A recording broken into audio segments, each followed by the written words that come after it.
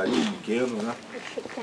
É, coisas assim bem objetivas. É, primeiro quero, quero parabenizar o trabalho que o INCRA está fazendo. INCRA não, FUNAI. FUNAI, desculpa.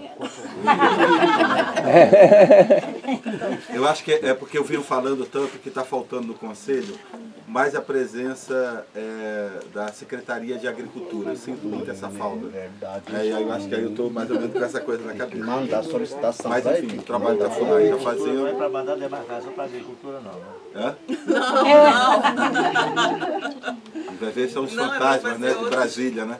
Mas esse, esse é, é do, do conselho. O conselho que tem que mandar o convite, né? Esse é papel do conselho. Ele recebe. Eles recebem. É, então. Estiveram em Paratimirinya, mas a gente tem de de lá para cá, já estivemos em Araponga, já estamos aqui na quarta comunidade.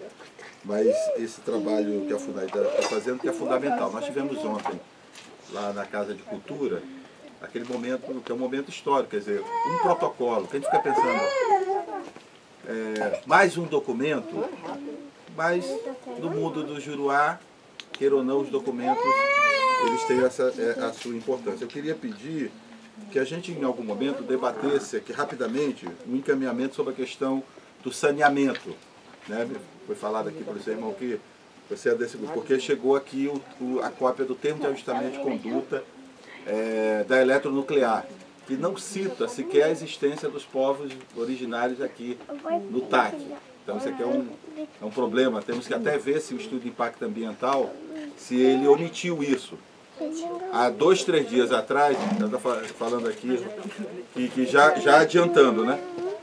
Até acho que foi colocado no grupo do Conselho que o Ministério Público Federal conseguiu uma ação anulando todo o processo de licenciamento da refinaria do Comperge em Itaboraí.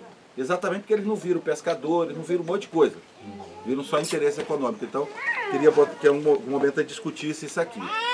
Sobre a questão de Maricá, de fato, já foi falado aqui, a situação da comunidade do Cacique Félix tem uma singularidade, que é a unidade de conservação, e de fato ali há necessidade de identificar no município de Maricá uma outra área adequada. De preferência que tenha água, que tenha terra, que tenha lagoa. Maricá é um município grande. Sobre a questão de, de Mata Verde Bonita, é, existe uma, uma, uma questão de uma controvérsia, que é a questão dos espanhóis, né? do, do, do, do condomínio, do resort. E desde o início, que eu tive naquela primeira reunião em Maricá, alertei que ali trata-se de uma grilagem de terra. Aqueles espanhóis, além de terem perdido to, em todas as etapas na justiça, que foi discutido o licenciamento ambiental, eles perderam da Justiça do Estado de Janeiro, que foi em março, dois, três dias depois da nossa reunião, eu mandei toda uma documenta, documentação, porque eles, eles in- inclusive queriam expulsar os pescadores artesanais da comunidade Zacaria, que estão ali comprovadamente há 300 anos, pelo menos. E ali, naquele material que eu mandei à época, tem lá no arquivo do Conselho, tinha um livro da universidade, um trabalho que a universidade está fazendo há, há décadas, que mostra isso. A cadeia dominial, que aquelas terras não são do, do, do Juruá espanhol. Aquela terra são dos pescadores. Na semana passada, houve uma nova decisão, agora no Supremo Tribunal de Justiça, reafirmando mais uma vez que é, a, a proteção da, da restinga. Então, o que aconteceu, é importante, Vanderlei está aqui ouvindo e, e, e é que eu acho que nós temos que reafirmar aqui o, a des- a- o encaminhamento, a deliberação do Conselho que foi tomada por unanimidade, que é o quê? Logicamente que a comunidade tem que internamente discutir e tem a autonomia garantida sobre onde pretende lutar para ter a sua terra. No entanto, pessoal, tem dois problemas. Um é de representatividade do nosso interlocutor. E eu quero falar aqui especificamente de Maria, pena que ela não esteja aqui, mas a Maria é uma militante, uma pessoa de bom coração, mas ela não tem representatividade para fazer o que ela o que, a- a- o que está acontecendo. Primeiro, ela sequer é uma servidora pública, ela é uma pessoa cargo comissionado. Amanhã o prefeito demite se quiser. Então eu queria reafirmar aqui que essa reunião extraordinária, ela novamente seja solicitado a presença do prefeito. O prefeito não pode ir, que tem muitas atribuições, ele delega alguém. E aí, na hierarquia, eu tenho mais de 20 anos de administração pública, no governo federal, na Câmara dos Deputados, inclusive trabalhei na comissão é, é, nos anos 90, que era a comissão de direitos humanos, meio ambiente e minorias, que toda a questão indígena passava por lá. Todo o processo da revisão constitucional, 5 mil e poucas emendas, passou pela minha mão para analisar. Eu era um jovem, não tinha nem maturidade, eu acho que não tinha nem. Todo dia a gente está tá, tá é, conhecendo, né?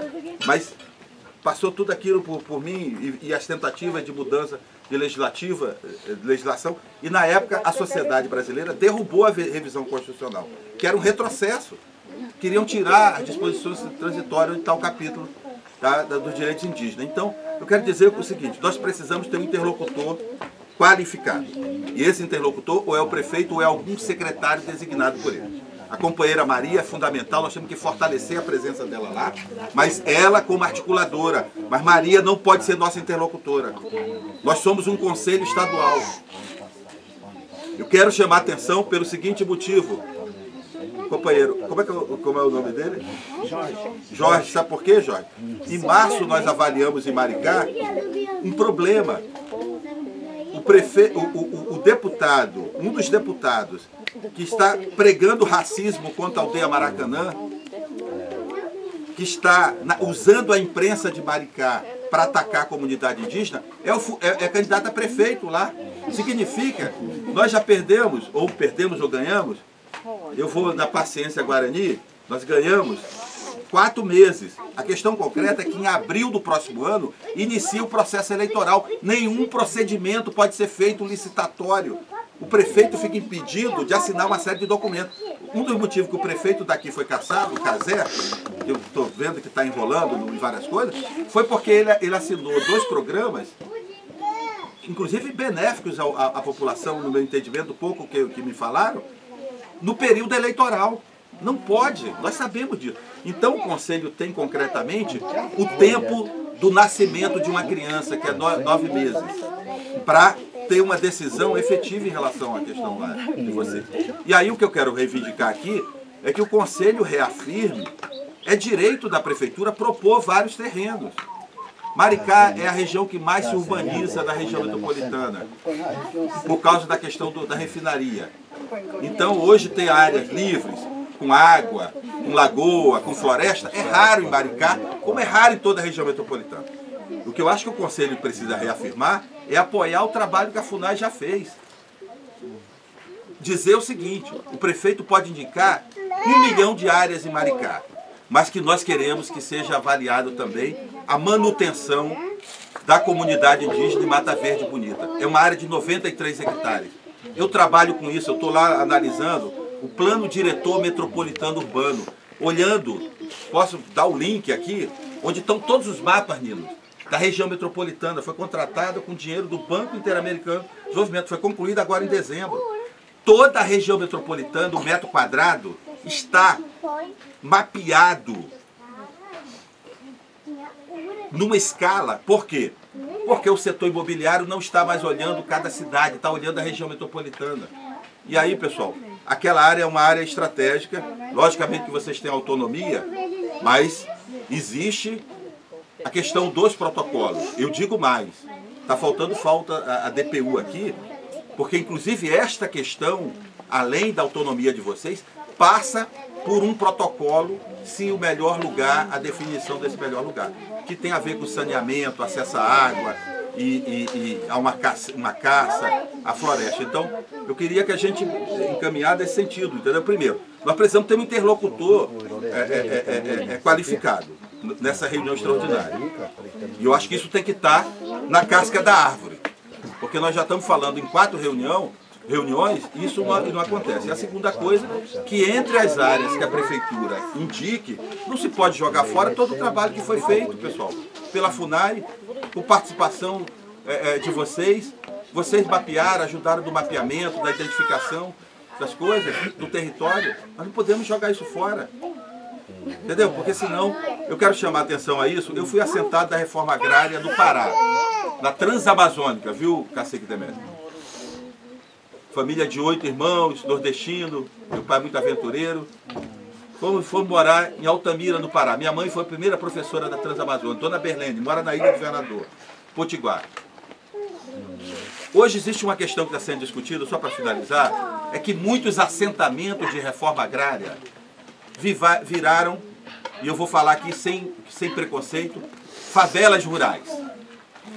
E eu temo que numa região tão urbanizada como a região metropolitana do Rio de Janeiro, nossos parentes sejam loga- lo- levados para locais completamente inadequados, que hoje Maricá, espraiado, por exemplo, é um polo de turismo. É um polo de turismo. O valor imobiliário ali é muito grande e o que tem de construções sendo, sendo avançando e, e dezenas de pedidos de obras dentro da prefeitura de Maricá. Se, se o conselho pedir isso, vocês vão ver do que eu estou falando. Então, a meu ver, alguns locais não são apropriados. Isso nós faremos uma discussão. Eu acho que é uma questão que não é técnica, é uma questão da autonomia de vocês, mas o conselho ele tem que ter uma responsabilidade. Sabe por quê, Cacique? Amanhã, se a violência aumenta, aumenta a violência, inclusive a violência contra as mulheres, porque nós sabemos o que acontece. Nós sabemos o que acontece. Este conselho pode ser cobrado por ter se omitido, ou por ter se omitido, ou por não ter avaliado todas as O questões. conselho, se o conselho já já está tudo né, Legalizado. legalizado, papelado tudo certo. E o que, que é o, o como aqui está, como o Nino colocou muito bem, aqui só não está duas, é, duas aldeias presentes aqui, que é Paratimiri e Ara, é, na Araponga, Nino, Araponga e Bracuí. Então, o, o, o que que o presidente do conselho, o conselho do, do estado vai exigir de nós comunidade, como eu. É, vai, vai o secretário está ali, o secretário, né? Secretário Da, da, da reunião, isso. É, secretário do conselho. E para ajudar, ajudar a comunidade, reivindicar, porque nós, nós, não estamos aqui de brincadeira ou para escutar uma história, qualquer história. É, mas também faz parte também, uma história engraçadinha também faz parte. É. E, e é, sério, vamos, vamos, vamos igual nós. O, o- nós estamos com um problema maior, mas o Uruguai. né? Uruguai, então vamos fazer o Uruguai, um documento. Nós vamos sentar, porque a reunião é curto, nós não, nós não vamos ficar hoje ou nós vamos ficar até amanhã. Pra... que o Conselho Estadual de Direitos Indígenas faz parte vinculado à Secretaria de, Dese- de Desenvolvimento do Estado do, do, do Rio Direitos Humanos. A CESAI tinha uma autonomia, até, até pouco tempo, tinha autonomia, como o João falou, nos recursos, na gestão, ela perdeu essa autonomia, ela é totalmente submetida a desejo do ministro da Saúde, que não tem nenhuma simpatia com a CESAI. Então, assim, a saúde está num risco muito grande. Essa questão que o Nino traz do carro, o carro impacta diretamente na saúde da- das comunidades, porque você não tem transporte para levar o, o- um usuário que está tá mal, pra, seja para um especialista, seja para o Rio de Janeiro, para ver uma consulta com um cirurgião, uma coisa assim, você pode gerar mais mortes. né? Então é, é, é uma situação muito grave que a gente está e acho que essa ida é super importante porque já, já se mostrou que quando os indígenas estão unidos, fazendo resistência e se fazendo presente junto à gestão, a gestão abre a, a- pelo menos a conversação. Então eu acho que então a gente fez, eu fiz uma, um modelo de cartinha para a gente di- divulgar nas nossas redes sociais e tem que ter só uma conta, tá, Nino? Colocar ali, aí você completa ali um número de uma conta onde as pessoas depositem esse dinheiro para poder ajudar a ida deles a Curitiba. um Estado que o governo, que o governo tenha tanta irresponsabilidade. E eu não estou falando disso de agora, eu estou falando disso sempre, porque desde que Desde a- essas 97. comunidades tem a- o direito da educação diferenciada. Nunca houve uma escola construída pelo governo. 97. Começou, 97. Começou, nós Então a estamos gente- em 2019. 2019, quantos olha quantos anos. Então isso, né? E isso é, é um descaso sem precedente, né? Porque esse Estado sempre foi muito rico.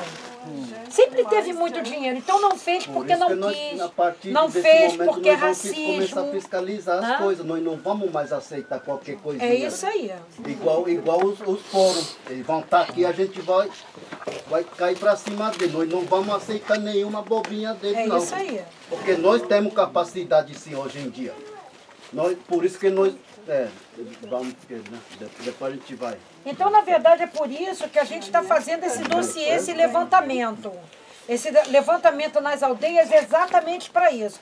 Para a gente construir no papel, porque Juruá gosta de papel, para a gente escrever no papel tudo que as comunidades estão falando. Nós fizemos reunião assim com a comunidade toda falando o que, que quer sobre a questão indígena.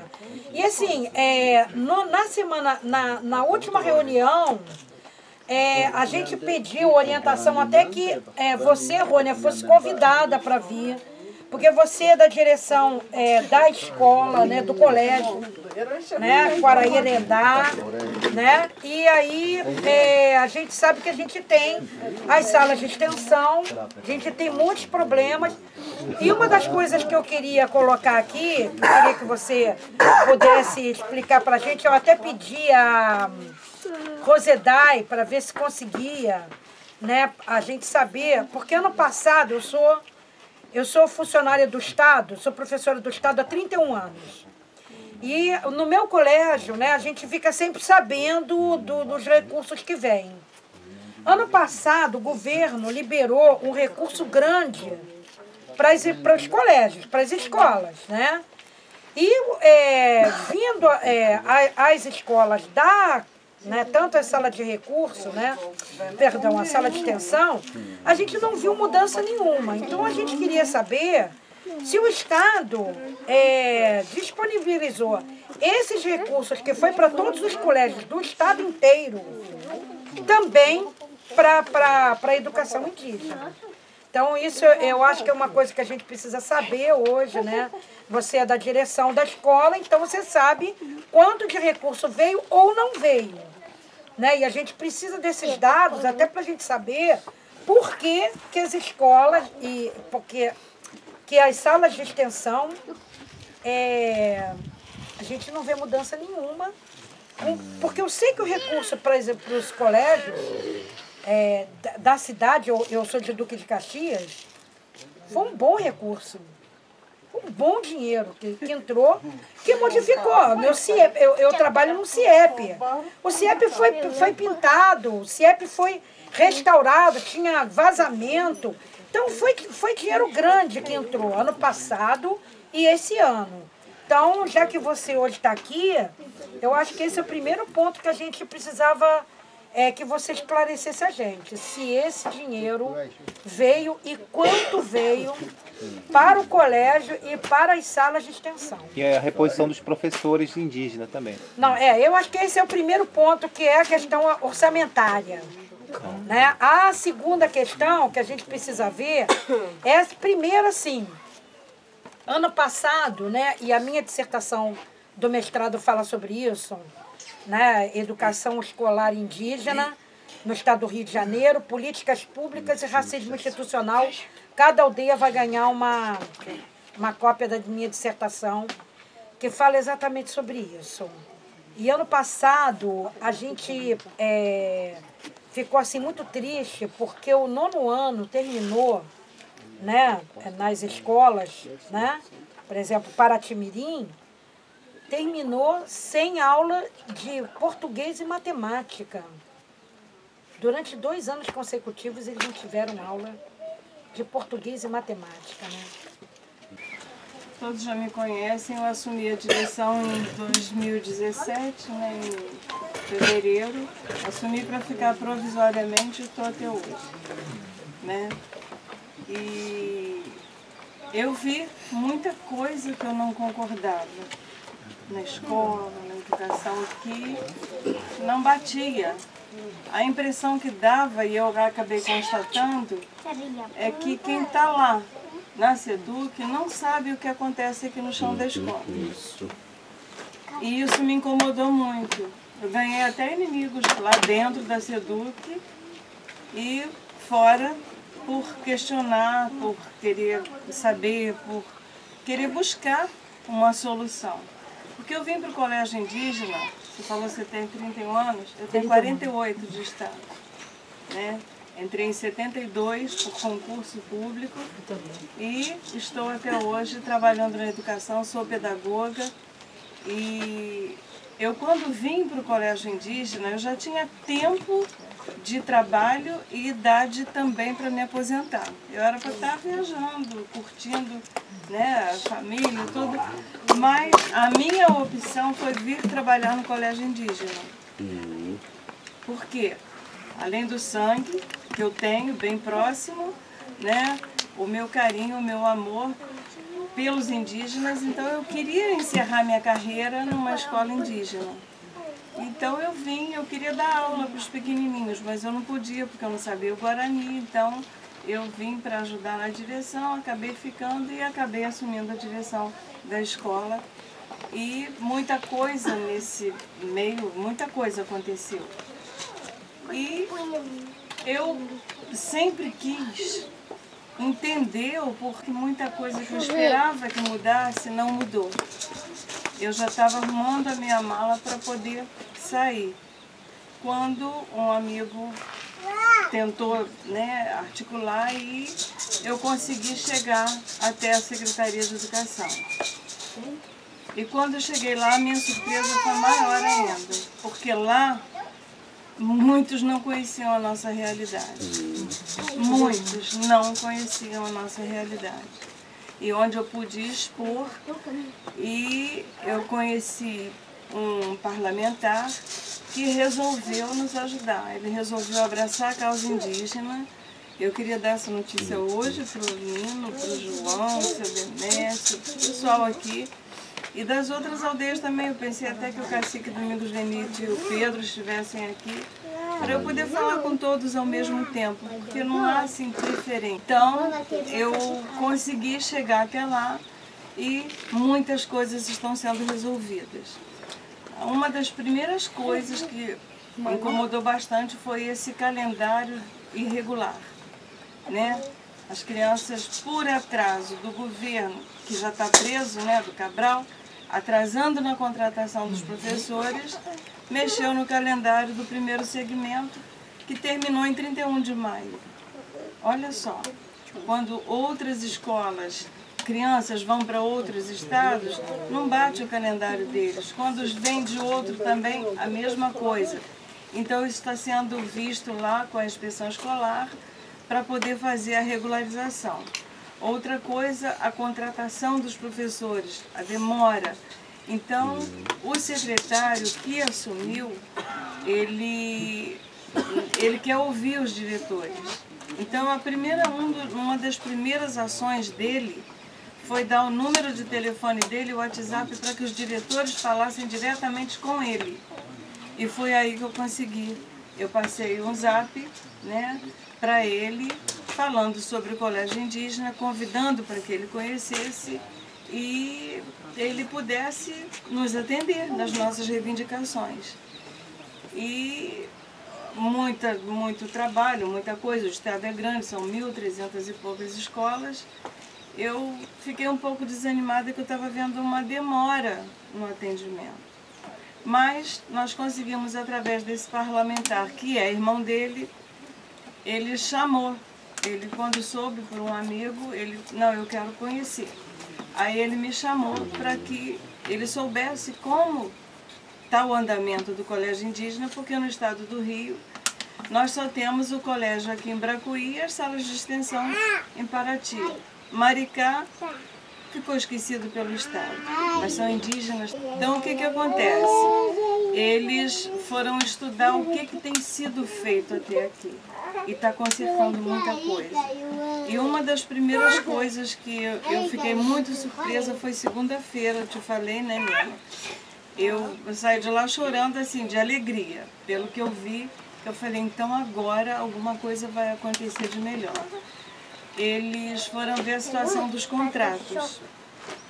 E uma das vezes que eu estive em Araponga, o Nírio estava me passando como que acontece lá no Paraná, em Santa Catarina, em outros estados, porque o nosso estado, eu entrei no site e é vergonhoso.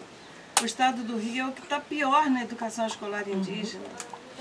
Todos os outros têm recursos, têm material didático, tem pessoas que vão lá, que ajudam a escola. Aqui a gente tem pesquisadores que vêm aí há 20 anos. Até hoje não fez uma cartilha. Fez ou não? Até hoje não apareceu um, um folderzinho que mostre como material didático para a escola. João está aqui, é professor, ele sabe disso, a dificuldade que é trabalhar. O nosso, a nossa criança, o nosso professor indígena, ele não foi alfabetizado em Guarani, ele foi alfabetizado numa escola de Uruá. E outra, ele não é formado. Então, tudo isso é uma dificuldade muito grande para o professor. E eu, como pedagoga, vendo isso, estava me incomodando muito. Aí nós vamos, aí eu pedi, eu solicitei, se existe um curso de magistério indígena hoje, foi solicitação minha. Eu fiz a solicitação, está lá o ofício meu, porque até isso é competência do diretor da escola. Eu fiz em 2000, 2018, dei entrada no dia 4 de janeiro de 2018 no pedido, dia 9 de março foi publicado e logo depois a regional entrou com o SEDUC, fizeram um, um, uma, uma mexida. Junto desse meu ofício, tal da FUNAI também, né, no mesmo processo, o processo é 03 barra 010 barra 18 2018.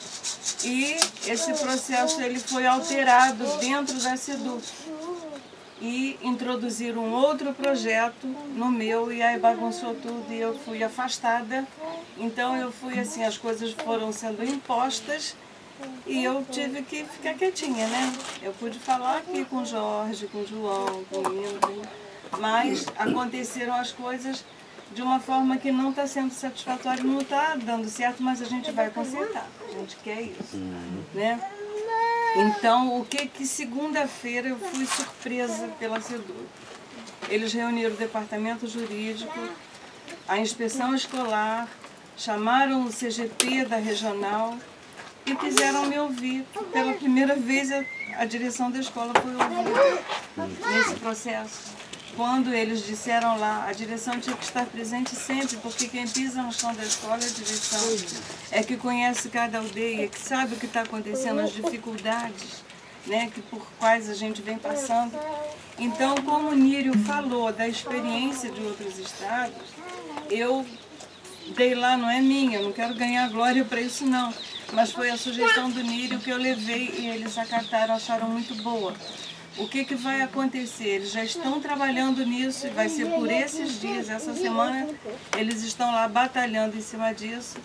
Eles vão contratar os professores indígenas, mas vão contratar professores de Uruá para trabalharem juntos. Se a escola é bilíngue, ela tem que ter um professor de língua portuguesa e um professor guarani. Não temos o guarani formado, então eles vão continuar com contrato de professor e eles vão ser os tradutores.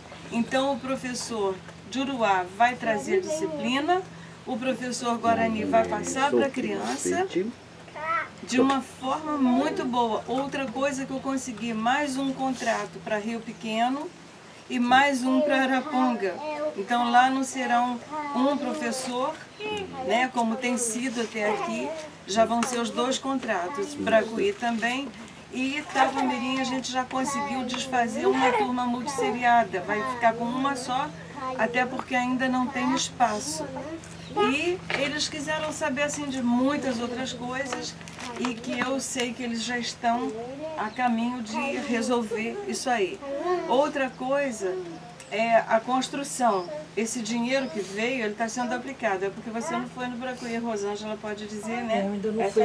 Tava Mirim, você tem Me ido? É porque o que aconteceu lá não aparece, porque mexeu em fossa, É. mexeu em coisa pesada, mexeu em telhado, mexeu em muita coisa e tudo tem sido feito a prestação de contas pela AE. Aqui também já foi mexido, né, João? Você sabe disso. E vai ter uma obra agora, seu Demércio pode explicar, porque nós não temos autorização para construir. Mas nós já vamos construir um banheiro, uma cozinha e um refeitóriozinho aqui, junto da sala de extensão. Quem ficou para trás foi Araponga, porque como não estava tendo aula e surgiu problema sério em Tavamirim, a gente deu a prioridade para resolver aquela questão lá, mas Araponga já vai também começar a obra agora. Então, nós temos feito a prestação de contas e as coisas estão caminhando. A turma de nono ano, que terminou em dezembro, tanto no Bracuí quanto em Paraty-Mirim, foram feitos estudos é, pela 419, a deliberação, e essa turma ficou sem poder dar continuidade ao estudo. Porque eu havia solicitado desde o ano passado o ensino médio, a implantação do ensino médio regular, porque eles não queriam fazer o magistério. Eles querem o ensino médio regular porque eles querem competir com o Diruá, e é um direito do indígena. Ele vive nesse mundo igual junto com o Diruá. Então, eles querem ter condições, eles querem ter o conhecimento igual. Então, eles pediram isso. Eu, na época, pedi ao pedagógico da regional para fazer a implantação, porque já existe, desde 2014, um processo de autorização do, do ensino médio regular. E a resposta que eu tive da então DRP foi o seguinte, ou eles fazem magistério indígena, ou eles vão fazer na escola de Uruá. Ou então fica sem estudar. Eu falei, mas é essa a resposta que eu vou levar para a aldeia? Ué, você quer o quê? Eu falei, eu quero que implante. Aí ela pegou, passou um e-mail para o Rio e isso ano passado. Não teve resposta. E no início desse ano eu continuei insistindo e também foi muito difícil, porque eu não tinha conseguido ter acesso a esse parlamentar. Quando eu cheguei lá, ele jogou pesado e a SEDUC está correndo e nós vamos ter o ensino médio que deve começar agora também. Paraty-Mirim. Paraty-Mirim e Bracuí. Então nós vamos ter, já temos, inclusive já consegui inscrição de professor de matemática para Paraty-Mirim e está vindo uma de GLP que vai começar agora em agosto, também de língua portuguesa. Então Paraty-Mirim já está com essa carência coberta. Né? A gente está correndo atrás disso e está conseguindo resolver essa situação. Então, eu fiquei assim mais feliz ainda porque quando eu disse para eles, eu vi a Rosângela Luana, né, falando sobre a dificuldade, os recursos, eu estou pagando para trabalhar. Nós já vamos ter no dia 18 de julho a visita em Bracuí e aqui. E depois eles vão marcar para ir a Tavamirim e Araponga. Aí eu disse o seguinte, tá, eu estou dirigindo salas de extensão nessas aldeias. Mas nós temos um Pataxó lá no Iriri. E nós temos Maricá e Itaipu, Itaipuaçu, né? E eles já abraçaram, porque o meu projeto que eu e Rosângela fizemos, ofício pedindo, a escola abrangeria todas as aldeias do estado do Rio de Janeiro. não Tem que é abranger só. todas as aldeias. Só que foi cortado, tiraram da gente isso. Aí eu não posso, eu sou muito pequenininha. Eu falei, eu não vou brigar com esses, né? Nunca foi ouvida, mas agora a- não é a minha voz, é a nossa voz que está sendo ouvida. Agora, entendeu? A secretaria está olhando com carinho para o nosso lado. Eles já sabem quem é seu Demécio, sabem quem é Domingos Venite, quem é o seu Miguel, quem é seu Agostinho, Nino. Eles já, sabe, já estão familiarizados, né? Então, eu acho que está na hora da gente receber, né? Essa visita e expor também, porque nem tudo eu pude colocar para eles. O principal que como diretora da escola eu pude passar, eu passei. O que me angustiava ali dentro né, da escola, ver o que está acontecendo. Agora, muitas outras coisas são vocês que vão passar. Inclusive o João, eles estão querendo te conhecer muito. Eu falei demais de você, né? Aí não tem jeito. Aí, é, então é uma coisa assim muito boa. Eu estou enxergando e eu já disse. Quando eles falaram e faziam os 14 contratos, eu comecei a chorar que eu não conseguia controlar lá dentro. Aí a representante do departamento jurídico falou, caramba, a diretora se emocionou e eu acabei mexendo com todo mundo, até eles lá encheram o olho d'água. Porque eu falei, gente, eu não acredito eu tô vendo isso acontecer. Entende? Porque eu já, eu já escutei dentro de repartição, para que que índio quer estudar? Ah, deixa como está. E quando eu assumi a direção em 2017, o meu primeiro questionamento foi sobre um analfabeto que estava dando aula. Eu falei, gente, isso não pode continuar. E quando isso aconteceu, eu questionei, disseram assim, o Ministério Público quer ver a sala funcionando. Ele não quer saber se quem está lá dentro sabe ler e escrever ou não. Mas é aquelas crianças que estavam ali estudando. E a pessoa que estava também ali sem saber o que fazer, perdido, dava até pena de ver. E ninguém fez nada, mandou eu calar a boca, porque o Ministério Público não queria saber. Se eu fosse uma pessoa dedo duro, que gosta de fazer denúncia, eu tinha feito aquilo que tinha explodido. Mas não era o meu objetivo esse, até porque a gente não quer humilhação de ninguém. Ninguém passar perto, mas aquilo me doeu muito.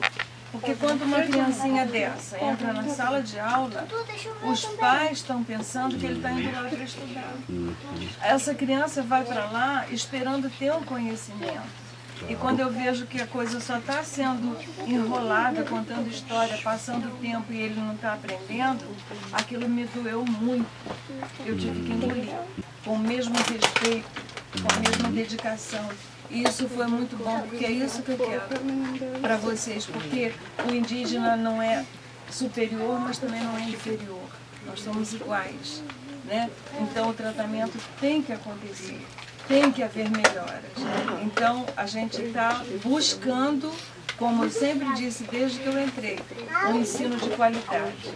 E se eu quero um ensino de qualidade, o meu trabalho tem que ser de qualidade. Então, a gente está aí aberto para o diálogo, para a parceria, para atender, para servir, que a minha função aqui não é ser servida, é servir. Para isso eu ganho. Se eu ganho pouco, eu que procurasse um outro emprego que me desse mais. Eu uma vez ouvi na escola de Uruá, que eu, que eu fui diretora, a gente finge que ensina e eles fingem que aprendem. Eu disse negativo, ninguém finge que vai ao banco receber e nem finge que vai gastar. Então a gente tem que se dedicar e fazer o melhor. Então eu estou aqui para dar o meu melhor. Porque uma das vezes que eu saí daqui como professor, um carro atravessou na nossa frente ali, onde é bem perigoso de passar, atravessou e não deixou a gente passar. Vocês estão trabalhando com índio? Pô, vocês não, não vão passar. Aí o professor começou a falar e eu achei aquilo estranho, até porque era uma pessoa que nem daqui do Brasil é né? E querer embarrear o meu caminho, o meu direito de ir e vir. Eu sou cidadã brasileira. Ah, é? Foi Como quando isso aí? É também. Foi mesmo? 2017. Ah, é? Foi isso aí? Tem que tirar esse povo Tá, daqui, acabar com essa escola. Bata. Eu falei, caramba, Bata. foi aquilo doeu muito. Demorei. Entende? Foi Ah, muito é? difícil. Eu, eu me senti ali muito mal naquele momento. Engraçadinho ele. Então eu pude sentir um, um pouquinho desse gostinho amargo, dona Cláudia, do que a senhora falou. Eu entendi perfeitamente. Entendeu? Então eu quero só dizer o seguinte, a gente está. Estou muito feliz porque a gente está conseguindo agora avançar, porque dentro da própria Seduc teve gente segurando o nosso processo. O nosso processo é educacional, porque a gente não tem que olhar a pessoa, a gente tem que olhar o todo. E eu estou aqui para isso, para ver o todo. É o, o bem da escola. Ver a escola crescer, ver a escola caminhar. O problema da nutrição, porque até hoje não houve capacitação para as merendeiras. Eu quero dizer também que com esse recurso a gente comprou material de cozinha, né? A gente já teve, está comprando geladeira, freezer, armários, tudo que é necessário para a escola já veio armário, tudo está sendo feito. E Araponga a gente está indo com a obra também, está indo. Eu só tenho a agradecer. Rônia, deixa eu. é, muito obrigada por toda essa exposição que você fez. Né? Eu acho que é importante para o Conselho entender um pouco o que está sendo feito. Mas a gente queria saber também a possibilidade de correção dessa distorção. Você acha que tem possibilidade de o oitavo e o nono ano que se formaram em Paratimiri, que não teve matemática Tá e português, Ah, se- Eu pedi isso ao Seduc, isso foi um compromisso meu, que eu pedi e que eles estão debruçados nisso lá. Inclusive, numa das reuniões que eu fui lá, que me chamaram, uma pessoa que está bem lá em cima e que tem um poder de resolver e que é antiga lá na Seduc, ela disse o seguinte para mim. Ela disse assim, olha só, diretora, a senhora sabe que o Estado está com pouco recurso, que a gente não pode fazer muita coisa, então alguma coisa do que a senhora pediu, talvez a gente não possa. Ela nem continuou a falar, porque a assessora do, do subsecretário executivo cortou no ato. Ela disse, peraí, peraí, peraí, não, não, para por aí. Olha só, desde que a diretora está falando, eu estou anotando tudo. Ela estava com a lista desse tamanho. Ela disse assim, olha só, o que ela pediu aqui, ela está igual indígena. Ela pediu o mínimo do mínimo. Então, tudo que ela falou tem que ser atendido. Nada do que ela falou pode deixar de ser atendido. Eu ouvi isso do subsecretário de administração, Alain, segunda-feira também na CEDU. Ele disse, a senhora está sendo bem atendida. Eu falei, graças a Deus. Como é que está indo para a escola? O que, que vai? A senhora está gostando? Tô. Então tá ótimo. Porque se qualquer coisa sair errada, a senhora vai ter que me falar. Porque se não me falar, quem vai brigar com a senhora sou eu. Então eu me senti assim no compromisso de ter que estar dando a ele uma satisfação do que ele mandou fazer. Então, gente, eu acho que agora está na hora da gente ter um pouquinho de esperança. Eu, pelo menos, estou com essa esperança e eu queria dividir essa alegria com vocês. Porque, para mim, eu já estou com 67 anos. A minha aposentadoria é a hora que eu quiser. Eu já estudei, eu já fiz tudo que eu tinha que fazer. Mas eu não queria sair deixando uma escola indígena capenga, igual ela vem sendo há muito tempo. Eu quero ver uma escola indígena com qualidade. E eu estou vendo, eu estou vislumbrando que isso vai acontecer. E já vai começar com essa visita do dia 18. Tá? É nessa visita, Nino, que a gente vai ter Márcia, todos vocês vão ter oportunidade, seu Demésio vai ser ouvido, da gente estreitar os nossos laços. Porque se a gente chega com agressividade, quem pode nos ajudar vai regular. Mas se a gente souber chegar, se a gente souber falar, se a gente souber mostrar a verdade, não precisa enfeitar pavão, não. Vamos falar a verdade, o que está acontecendo, o que a gente está precisando. Quem está lá vai ajudar. Quando foi falado da construção aqui, mas é proibido construir, é proibido quando não há tanta necessidade. A gente tem que avaliar e vai, e vai acontecer. Então vai acontecer sim. E parte desse dinheiro já, tá já vai ser aplicado aqui, além do que já foi feito de reforma, vai ser aplicado aqui. O nome ganha fama em cima do conhecimento do indígena. Eu não vim aqui para isso. Eu vim aqui para servir e fazer um bom trabalho. Tá? Isso aí, Rônia. Então era isso. Quando a gente é, constituiu o conselho, a primeira coisa que a gente colocou né, como coletivo é que seria muito importante que cada, cada reunião começasse a acontecer dentro das aldeias. Exatamente porque um conselheiro ele só pode produzir uma política pública na medida de que ele conhece a realidade. Vai ser muito bom é, o secretário vir até aqui. Me parece porque eu acho que porque eu acho que se ele vier, ele vai ver a, a prioridade que, que precisa É por ter isso que eu chamei. nessa questão. Quando Acho eu que fiz Era até bom você estar presente, Marisa. Quando eu, Eu pedi, olha só, quando eu pedi que ele viesse em- nas quatro aldeias, foi justamente por isso, para eles conhecerem a realidade de cada um. Não adianta eu falar que a dificuldade que é para chegar em Araponga se ele não, não passar esse caminho junto comigo. Né? Rosângela, você tinha... É, eu- só com relação ao que você falou, das aulas de português e de matemática, e, e algumas vezes até eu fui com Rônia na, na, em reuniões na secretaria, e, e da primeira vez que nós fomos, já falar, né? com todo o contexto da já, né? É, eu pedi que fosse feito uma, uma avaliação, um, um nivelamento, assim, para ver em que série de, de fato de, de conhecimento né, as crianças estavam. E, e a pessoa que nos recebeu lá com bastante assim, dificuldade até mesmo, a Rônia mal conseguiu se, se colocar lá, porque ela entendia que não, ela é Estado, depois eu converso com você, eu falei, eu não sou do Estado e eu vim aqui para isso, a gente teve até um- uma situação desconfortável lá, mas enfim. E depois eu oficiei, né? E não houve retorno, não houve interesse de quem estava à frente ali naquele momento. E depois, num outro, numa outra ocasião, que fomos novamente, eu levei um ofício e frente a tudo isso que Rônia colocou, reforçando que a FUNAI entendia que, que as falhas eram muito gritantes, assim, exigindo correções.